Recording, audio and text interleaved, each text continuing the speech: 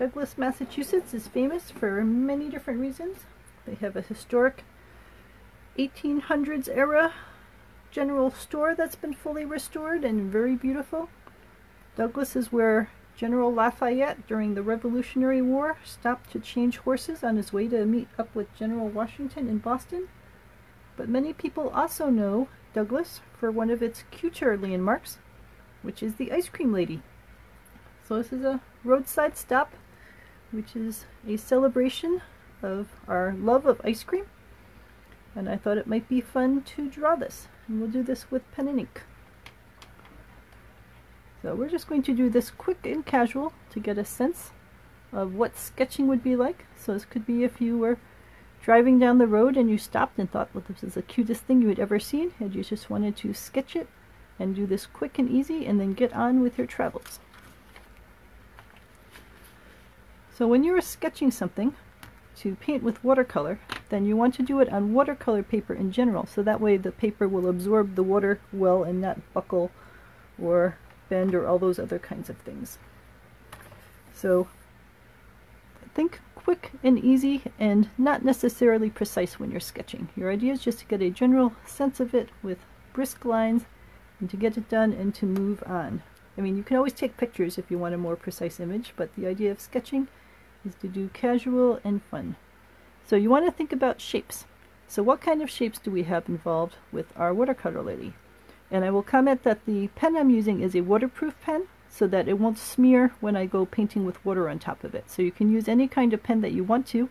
This happens to be a Sakura Gelly, Gelly Roll 08, but you can use any kind of pen as long as it's, it's waterproof because when you are sketching and then you are painting colors on top of it, you don't want the sketching lines to all get runny and smear all over the place. Alright, so let's think about shapes. What kind of shapes do we see in the ice cream lady? Well, I think the primary shape is sort of a triangle in the middle. So you've got the triangle of the cone shape. So let's make a triangle. And the triangle has sort of a flattish bottom.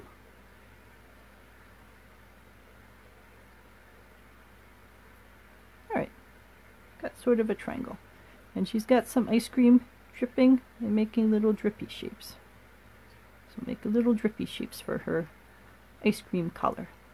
Alright, so her head is sort of like a squashed circle. So let's think about squashed circles.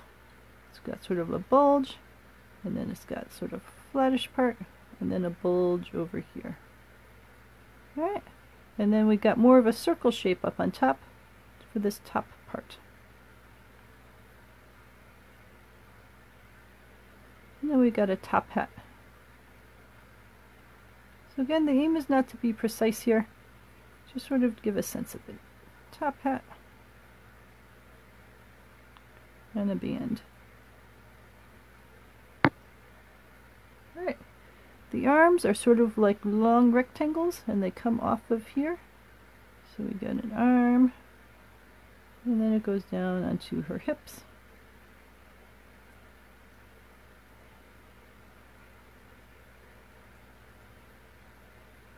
Alright. And again, think casual and quick. We are not aiming to be precise. We are just giving a general sense of what this thing is all about.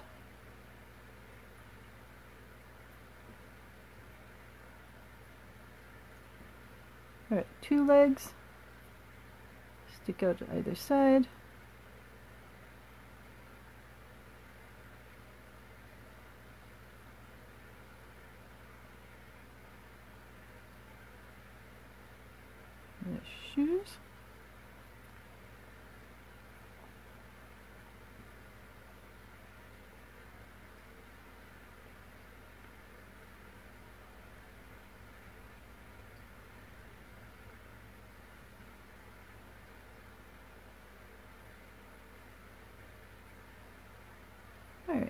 and she's got a mouth, which is sort of a half circle. She's got a round nose, and then she's got some eyes.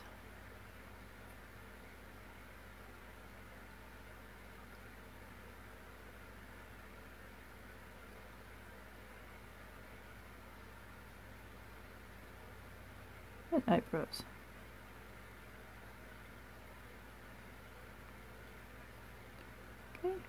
So again, you're sketching, you're doing something quick and easy.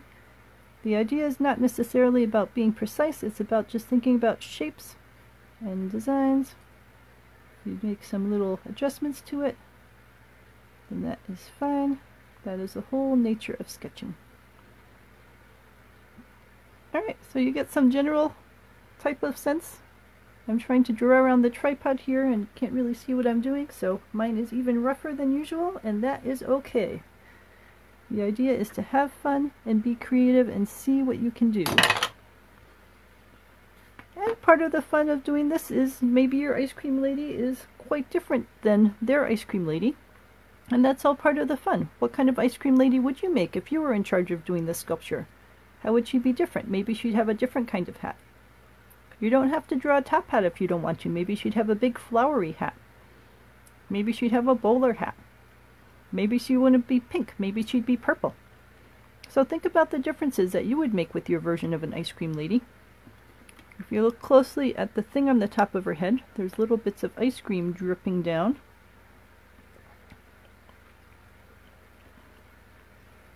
So you can make those little ice cream things. You know, in this sculpture, she's wearing a whitish dollop of ice cream on her head. Maybe in yours it will be green or blue. You can do whatever you want to. And there's all this stuff in the background with the picture that we used here. Right, we can put whatever we want to in the background. So let's choose some big brush. We're just getting it completely clean and dry. So we're just going to put water down as our base to make a background for her.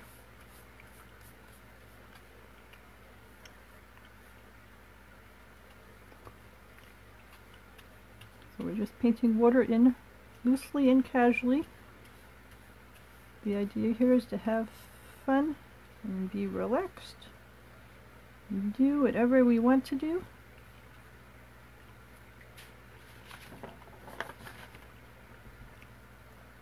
So I'll put in green for the grass. So remember, if you're the artist, you get to choose everything. You want her in a green grassy field? That is fine. This is your view of the world. You want your ice cream lady to have blue ice cream, then you go ahead and give her blue ice cream. You do whatever you want to do. If you want the sky to be orange, make an orange sky.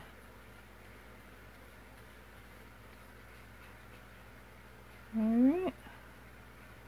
So a benefit of wet on wet is that the colors just sort of merge and billow and it gives it a very natural look. Everything just sort of goes where it wants to go. But it'll stay in the area that you made wet. So it's not going up into the sky, for example. It's staying down here in the grass area. Alright, so we got green grass. Now we're going to do a blue sky. So I'm making the brush nice and clean again. So it is just water that I'm painting here. And I'm going to leave a line between the blue area I'm painting and the green area because if the green and the blue area touch, then the paint will get sucked wherever they touch and then the green of the grass will go up into the blue of the sky. And that's not what I'm aiming for right now. So I'm just painting everything wet where I want sky.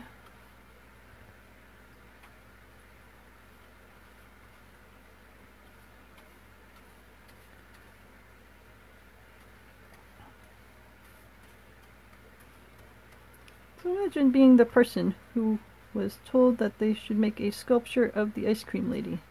That would be quite a fun kind of project to work on. You wonder to yourself, what would an ice cream lady look like? And how is she going to stand up? What flavor should she be? You know, is that pink strawberry? Is she a strawberry ice cream lady? Maybe it's cherry. Maybe it's watermelon. What color and flavor do you think that would be? See, I was saying watermelon, so I went for the red. No, no, no. I had to rinse that out. We're going for the sky. Skies are blue. Your sky can be red, but I wanted to make a blue sky. So see how that billows out in that beautiful fashion? And even though I'm painting across in stripes, all of this is going to billow and relax and do what it wants to do. So one thing to think about when you're choosing your colors that you're going to do is think about where the colors will be up against each other. So let's say I made all of this sky blue, and then I decided I wanted the ice cream person to be blue. If I painted her blue, and there's all this blue sky around her then it would be hard to see where she ended because she would be blue and the sky would be blue and it would just be this giant mass of blue. So if you wanted to make her blue, maybe you would put her up against a forest of trees or something that was green so that she had a green background. And that way you could see her against the green. So think about what colors are going to be next to each other and how you can make them easy to see.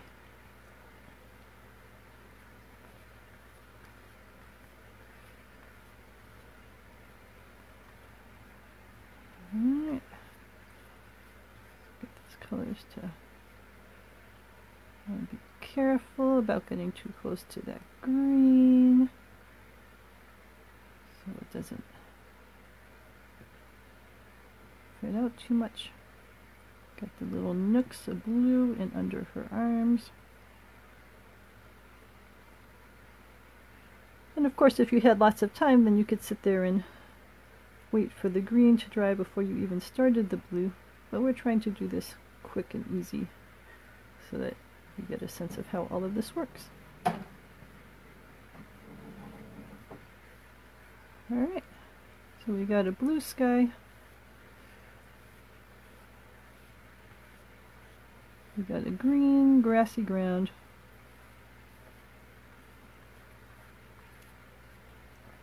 What if we wanted that grassy ground to have some flowers in it? Well, that grassy area is still wet. So let's get one of my other little brushes and let me poke it into here and get some red on it. Alright, so I got some red paint on my brush and this is still wet. So if I just touch an area, see how it blossoms out?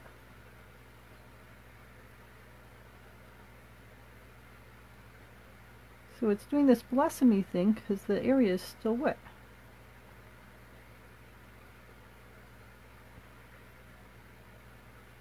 I'm making little flowers.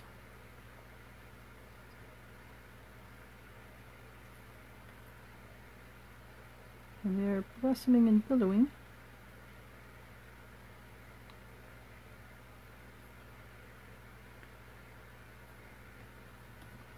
Now I've got some flowers, and they look bright right now, but they will fade because watercolors go on darker and then they fade to lighter as they dry. But we are also going to put in, get a little bit of a darker green, and we put in some little stem shapes.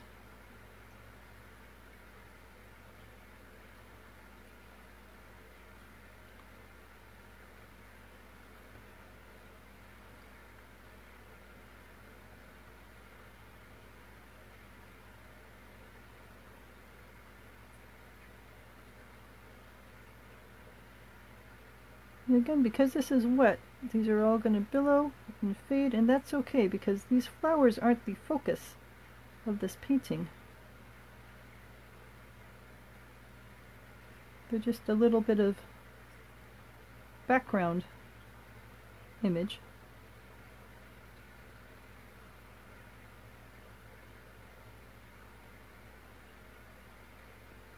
Just a little bit of a sense that she's enjoying herself in a field.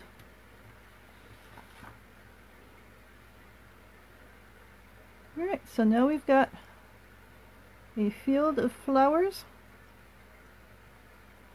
a little bit of texture of the other grasses and stuff.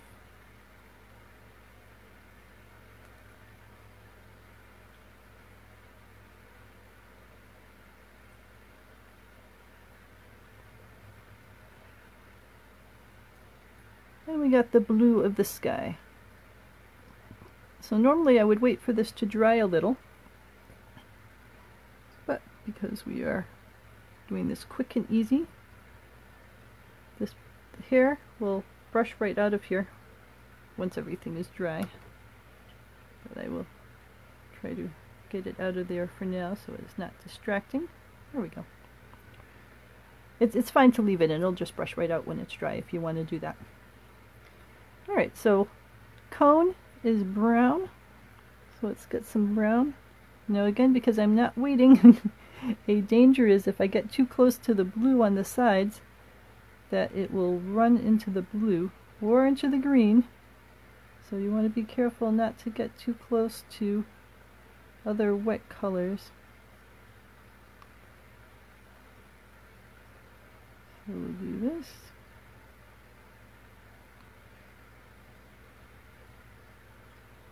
But when you look at quick sketches, you'll often see that the colors do merge at the edges because people are working quick and things are touching, or that they leave these little white spaces so that they don't get the colors to merge. And both of those help give the sense that this was a quick, casual sketch that was done. If we were doing a more long-term sketch, then we would do things like add in the shading so that it has shadow on side of it and that sort of stuff. But since we're doing a quick sketch, we're not worrying about that kind of stuff quite as much.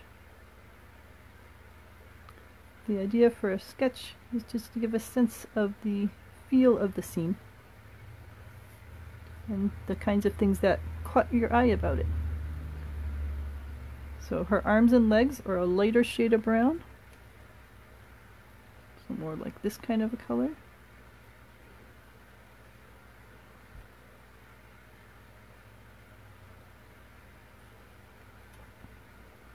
With watercolor, the brightness of the image comes from the white of the paper. And when you put on thin layers, the light from the room goes through those thin layers, hits the white of the paper and bounces off of it and then comes back at your eye. That's why it sort of glows like a stained glass window effect. So the more layers you put on, the darker it gets because you are blocking that light from getting down to the paper more and more. So think about that when you're putting on your layers, that if you want an area to really glow, put down just a thin layer of color. And if you want it to be darker and less glowy, then you put down thicker and thicker layers of paint to block the light from getting to the paper beneath it. And in general, in watercolors, you paint from light to dark, because since these colors layer on top of each other, and you're looking through all of them, it's very hard to paint something later. Like if I wanted to make lighter spots in those flowers, it would be hard to do that because if I put yellow on top of the red, it's still yellow on red and the red is still blocking the light from getting to the paper, so you wouldn't really be able to see the yellow very much. A little black for the shoes. So again, I have to be careful because if that black touches the green or the brown, it's going to billow out and be a black splotch in the other areas. Got black for her hat.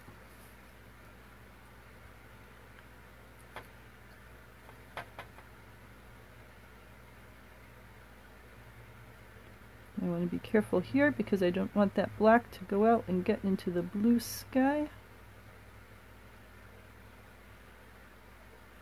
Blue is drying, but it is not completely dry yet. So it's not wholly safe from having color sucked out into it.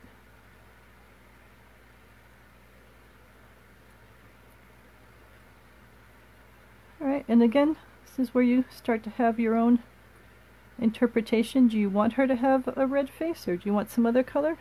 I'll go with red just to have it in here. But that red is very bright, so I'm going to water it down. because it's just sort of at the palest of red. But if you're aiming for a very pale color, then you still want to start light. The more that you water something down, the lighter it's going to get because you're mostly going to see the white of the paper and then just a little hint of pigment in there. So we have to be careful here not to get too close to the brown because that brown is probably still wet. And I don't want the pink to get sucked over there. And if I thought that that was still a little too dark, even when it dries, then I could rinse my brush off so that it is clean and then dry it a little bit with my fingers or with a paper towel and now it is a clean dry brush and it acts sort of like a sponge.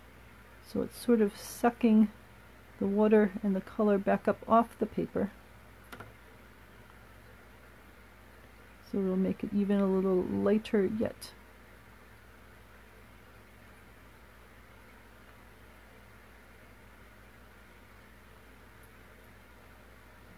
So I suck a little bit of the water off and then I will squeeze it off into my fingers. Suck a little bit more of the water off.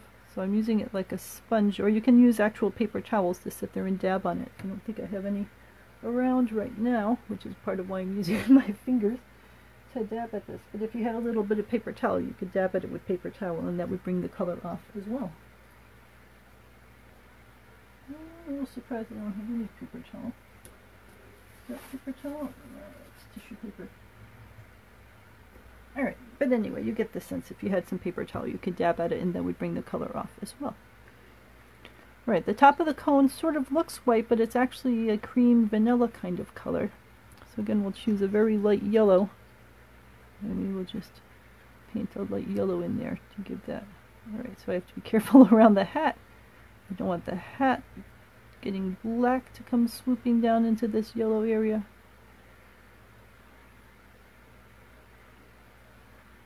And then the band on her hat looks like it's a lavender color. Right, so we'll get a little bit of purple. That looks light enough. Alright, again being very careful not to touch the black so that we don't get any of the black, which is wet, dragging into the band area. Her eyes, well, let's do her mouth. Her mouth is red. Got some red still here. Have to be careful because I don't want that red to go dragging out into the pink area. So be careful in there. Her eyes are blue.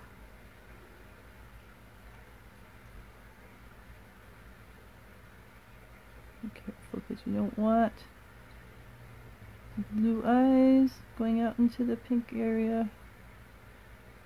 So again, normally you do this a little slower if you wanted to be precise, but the purpose of sketching is to be quick and brisk. So when you're going quick and brisk, you want to just be careful about where colors touch each other so that they don't run. And you can see there's all sorts of details in here that I didn't put on. There's like blue blush over her eyes and there's other details about the eyelashes and so on, but with this sketch you're just being quick and easy to give a sense of it. Oh no, I'm tempted to put in those eyelashes because they're sort of cute. But, alright, we're, we're going to resist. We're doing quick and easy and casual and just giving a sense of that. But I will show as an example, what if I got some bright yellow Alright, so I've got bright yellow now, and I'm putting little dots in the center of the flowers. So you see, you can sort of see them when they're wet, but when they dry, it'll be just a little sense of yellow there. Because that red is going to be so bright, it'll overwhelm most of the yellow. So those are things you want to think about when you're laying out your watercolor design about where the lighter colors are going to be, where the darker colors are going to be. And if it was really important for you to have little yellow centers for these flowers, you might want to leave the centers unpainted so that when you plunk the yellow down in there, they stayed nice and bright yellow. So, in some cases, you will be able to get the effect that you're looking for. And in other cases, the yellow wouldn't be bright enough and the red would be so bright that it would overtake the yellow in there. And you can think a little about shading, like if you look at the top ice cream cone, it's a little darker over here on the left because of the way the sun's coming in, and it's a little darker over here down in this wiggly area. So if you add details like that, you start to give more of a sense of the three dimensions of this thing that you're working on, so it doesn't look quite so flat.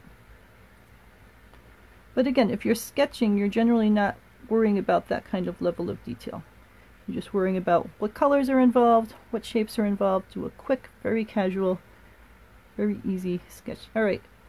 as much as I said that I don't need to put in the little eyelashes, I want to put in the eyelashes.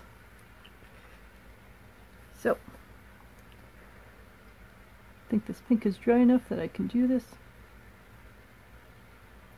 Just like her eyelashes. And she has much more of a swoop over there.